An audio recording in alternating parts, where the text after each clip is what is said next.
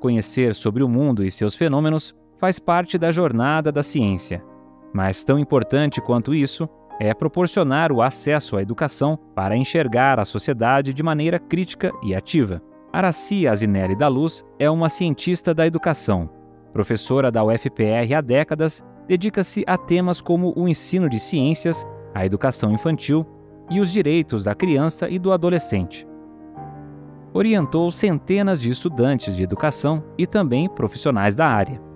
Voz sempre atuante em temas ligados à prevenção da violência doméstica, drogas e à reabilitação de jovens, Araci é uma mente incansável na máxima de que o ser humano pode ser transformado pelo processo da educação.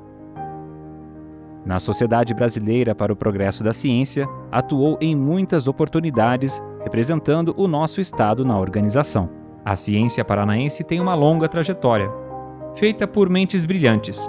Elas levaram a busca pelo conhecimento adiante. Agora é a sua vez.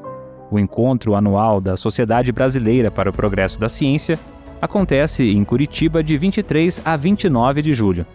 Saiba tudo sobre o maior evento científico da América Latina em nossas redes sociais e visite a exposição Notáveis, Memória e Presença.